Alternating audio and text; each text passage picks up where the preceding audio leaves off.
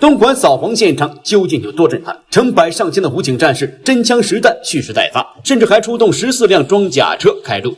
派三十架直升机配合抓捕，而目标却只是一家富丽堂皇的夜总会。那么这个夜总会究竟干了什么？二零零九年十二月三十日凌晨五点，东莞当地的居民再次被刺耳的警笛声吵醒。住在这里的人都知道，一定是警察又到新东泰进行例行检查了。对此，他们已经见怪不怪，甚至不用想就知道结果。最后肯定以新东泰合法经营、警方无功而返结束。毕竟新东泰这颗毒瘤在当地嚣张了这么多年，怎么可能就这么轻松的就被一锅端了？但这次的结果却有些出人意料。有人发现警笛声中似乎还夹杂着直升机的声音，听起来阵仗不小。于是有大胆的居民跑出去查看，眼前的画面让他震惊不已：十四辆装甲车打头阵，上千名公安干警紧随其后。就连武装直升机大队都出动了，不知道的还以为附近出现了什么恐怖分子呢。然而，这么兴师动众的场面，全是因为一家名叫新东泰的夜总会。其实说起来，新东泰应该能勾起不少人心中的回忆，毕竟那里号称亚洲最大小金库，是所有男人梦想中的天堂。新东泰位于广东省东莞市，由于东莞的地理位置极佳。因此，当地的有钱人也比较多。正所谓有钱的地方就有人，人多的地方就容易变得复杂。在这种情况下，东莞渐渐衍生出了某种懂得都懂的行业，甚至还逐渐内卷。当时，东莞有两个地方最被人津津乐道，一个是一条龙，另一个就是服务。在这样的背景下，新东泰应运而生。他出现后，一下就跃为东莞的龙头行业。任何所谓的一条龙服务，在他面前都被瞬间秒杀。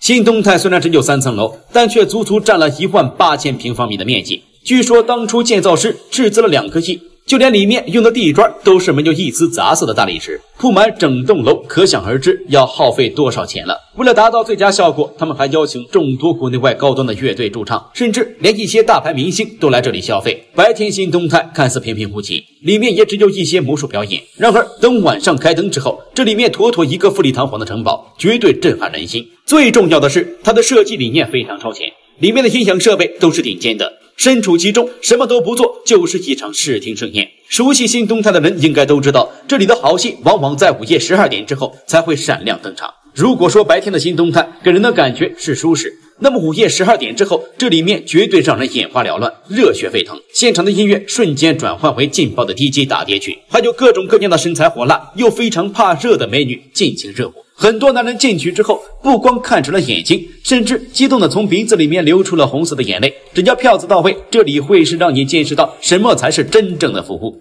来，吃完中午。行，晚上好。你好，要不要来自重庆小吃面馆买？两三还是不背？你二两四川一起九百。快过年了，女孩子没有那么多，玩是挺好玩的。这是东莞扫黄时的真实画面，揭露了完整的莞式一条龙服务内容。这里不仅有裸女选秀，还将所有的女性明码标价。这就是东莞最大的人肉交易市场，曾一度风靡整个东南亚地区，成为男人们梦寐以求的天堂。管事服务最强的新动态，从外观上看并没有什么出众的地方，但是里面的数百个包厢绝对包你满意。每个包厢里面都有不同的主题风格，就算每天换一个，都要小半年才能将里面的房间全部尝试一遍。如果你已经心动了，那可要掂量一下自己的钱包。因为这里的消费水平并不低，据说这里面根本不接待坐出租车来的客人，并且如果不是豪车，根本不会停靠在他们的停车场内。而他们之所以这么做，也是有原因的。毕竟新东泰被当地人称之为毒瘤，不做点什么，怎么担得起这个名号？说起黄赌毒，新东泰是一个都没放过。午夜十二点之后，舞池里的穿着清凉的美女都变成了开胃小菜，真正的大餐往往都隐藏在背后。富商老板们只需要坐在包厢里，为他们服务的经理就会带着一对莺莺燕燕前来献媚。不管是长相甜美的小女生，还是气质俱佳的御姐，甚至连未成年的幼女，在这里都能满足你。只要有钱，你甚至可以像皇帝一样享受裸女选秀的待遇，并且所有的服务都明码标价，只要付了钱，随便你怎么玩。主打的就是一个满意的服务。就是让客人体验到帝王般的感受，因此很多富商甚至一些官员都会来到这里体验生活。如果不免露面，新东泰还会贴心的安排特殊通道，保证不会泄露任何隐私。总而言之，一句话，只要票子到位，你要天上的月亮都能给你摘下来。其实黄赌毒中的第一项还好说，只要有钱，基本上都能享受到。最后两项就没那么容易了，必须要由经常来这里的大老板带着，才能享受后面两项服务。为此，他们还是有专门的汉语。如果你对服务员说“来份果盘，不要盘”，美女服务员不仅会给你端上来一份精美的果盘，还会另外给你上一份特殊的果子。吃了这种果子后，再和美女们来个近距离接触，对于那些瘾君子来说，这里简直就是极乐世界。而那些对果盘没兴趣的，可以在美女的陪伴下，到特殊的包间赌上一把，体验一掷千金的快感。众所周知，对于一般人来说，赌博的输赢全看赌场心情。但很多老板迷失在这样的帝王感觉中，就算是输钱，也根本收不住手。因此，手中的票子就像流水一般，进入了庄家的口袋中。而这个庄家自然就是新东泰幕后的老板。来，往前，往前。按照我们同事就给他检查，往前，往前，往前，往前，往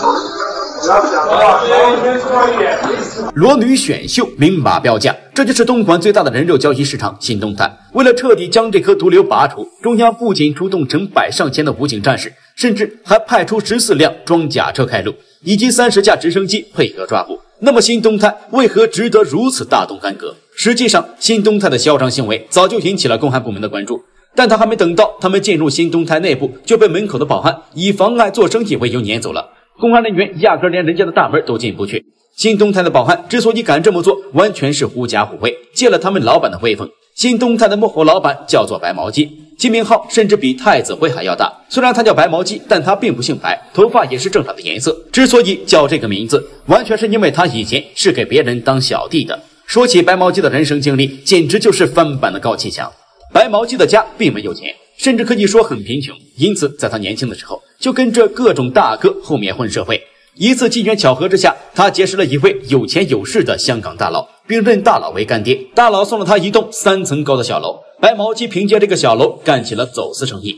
赚到钱后，在大佬的指点下，他又开设了赌场。刚开业时没有生意，为此大佬没少给他介绍人脉，这为后来的新东泰奠定了基础。由于赌场的生意比较好，白毛鸡很快做大做强，场地也不断扩建。最终才形成了新东泰的富丽堂皇。由于新东泰明面上做的是正经生意，因此很多老板并不知道白毛鸡地下土皇帝的身份，觉得他就是一个不上台面的 KTV 老板，干的都是服务别人的事情。所以当时很多人都看不起他。但是碍于白毛鸡干爹的身份，很多人并没有将这份看不起放在明面上。直到2005年，大家才真正见识到了他的手段。当时一个有钱的大老板在新东泰输了不少钱，害怕回家之后被老婆发现。于是就在新东泰大吵大闹，甚至还指着白毛鸡的鼻子破口大骂。白毛鸡并没有说话，而是反手一个大大的耳刮子，直接把那个大老板扇在地上。随后大老板就被白毛鸡的手下带走，此后就再也没有人见过那个大老板了。大家这才明白，白毛鸡根本不是什么不入流的小角色，而是不能招惹的暗夜修罗。从那之后，就再也没有人敢找新东泰的麻烦了。就算是政府人员，也拿他们没有办法。直到二零零九年，据说中央得知了消息，因此才会派出这么多武警战士以及装甲车出动，为的就是将新东泰一举捣毁。相传当天晚上，从新东泰走出的火辣美女多到几辆大巴车都装不下。自此，东莞最大的男人天堂落下帷幕，而东莞口碑也因为新东泰的落幕逐渐恢复正常，并且一点一点的走向更好的未来。